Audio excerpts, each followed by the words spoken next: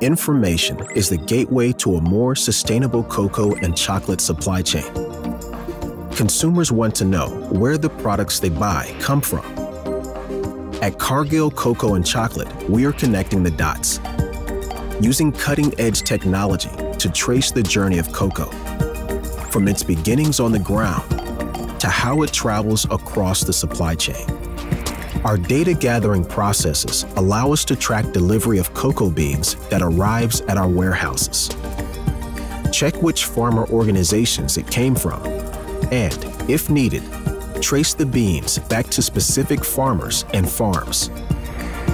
This allows us to keep track of how we're progressing towards our sustainability goals. In particular, our commitment to protecting our planet and eliminating deforestation in the cocoa supply chain. We're connecting the dots on data, from mapping farms and warehouses and tracing individual bags of cocoa to scrutinizing satellite imagery to observe forest shifts over time. Data plays a role at every stage of this process, from the micro to the macro level. Because information is powerful, but only if you use it to take action where it matters most. Cargill, helping the world thrive.